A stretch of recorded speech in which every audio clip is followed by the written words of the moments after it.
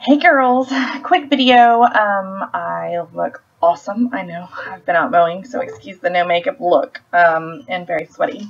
But I wanted to tell you I posted this morning in a buy sell trade group the fireworks post. Uh, most of you have seen it, uh, or the flowers, or the ice cream. There's been a bunch of them going around. And I know I've already told you girls some of this, um, and I keep telling you that it's a really good thing to do, but I know a lot of you still haven't done it. So, please do this. I posted it in a buy trade group this morning, and in five minutes I had over 30 responses. I still haven't answered them all. Um, I set it up to where they messaged me, so they're still coming in, even though I cut them off hours ago. And these are just my scribbled notes. This isn't my organized thing, but it goes on and on. I have four people who have already asked me for home parties, which I don't even normally do, and I don't even I don't even know how many Facebook parties, but it's a lot. And even the ones who say no, um, that are asking for the accent sheets, which, I mean, that really isn't that expensive of a thing to send them anyway. I feel like it's awesome because you could get a customer out of it, you could get a hostess out of it. They don't even know what you're sending, most of them. So um, it kind of gave me a chance to just be like, sure, no problem, I'll send them to you and I'll follow up with you and see what you think about them. So it just gives you an awesome opportunity to talk to them about it, you know, just follow up with them. Um, I did that in the last round and and on my last round, I think I booked like 10 parties and then like, well, I think it was a total of like 18 and a bunch of them were in the fall with the new catalog, which is great.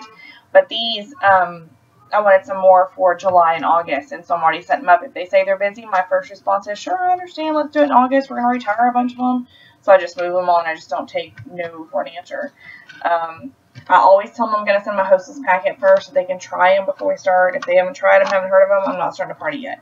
That's up to you guys. That's just how I like to do it. Um, anyways, I know everyone's busy with summer, but even if you have kind of taken this month off or, you know, you've let things get behind and you're like, oh my gosh, I have no PRV and I don't know what I'm doing, that's okay.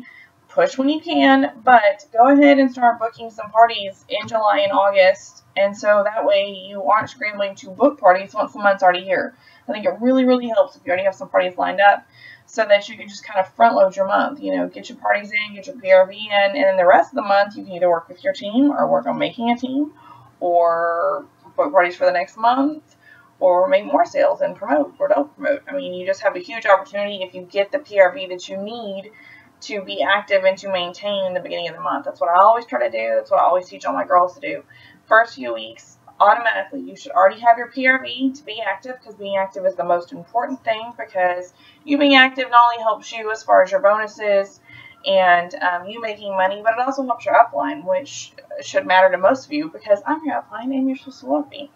But it matters to everybody, all the way up to Rachel and higher. If you're not active, you know, you don't count as an active leg for someone. So a lot of times, you know, $10 is what holds you um, holds you up from being active, and that's well worth it to get past that. So anyways, the whole point is just to really work on front loading your July because we've got the 4th of July coming up and um, we have JamCon for one that's going to Nationals this year. So we want to get in all of our sales that we can at the beginning of the month so that we can party. Um, anyways, I just really want you guys to try it. If you haven't tried it, post it. Post it somewhere. It opens up a whole new cold market for you. If you feel like you're out of parties, I highly, highly recommend it. Um, there's lots of other options. If you're new, you don't have to do this. You can just post this on your personal page. You can post it on your business page if you have one. Be sure that you use, you can change up prices however you want, but be sure that you use the beginning verbiage because that seems to be what hooks them. When I've seen people change it up and just say pick a number or change the wording, it doesn't seem to do as well. So be sure you're picking, you know, writing the exact verbiage that we've given you. And then you can change up the prizes if you want or make it contingent upon parties or however you want to do it to make it more comfortable for you. Because um, it's supposed to not really be something where you spend a lot of money. It's just supposed to be a way to get into your cold market a little bit and get some new parties booked. Even on my personal page when I did it, I booked like six parties. And trust me, I've been doing this over a year my party peeps are partied out. Um, I already know who they are and I line them up, which is great, but there's not a lot of newbies. So I was shocked to get um, that many responses that I wanted to go ahead and party. And I already booked some for the fall because of that. So, um, anyways, I just hope this helps. I just want to pop in here really quick and tell you guys to please try it. And um, plus, we have a booking blitz going on. Know, I'm supposed to be kicking booty. So get on it. Love y'all. Talk to you later. Bye.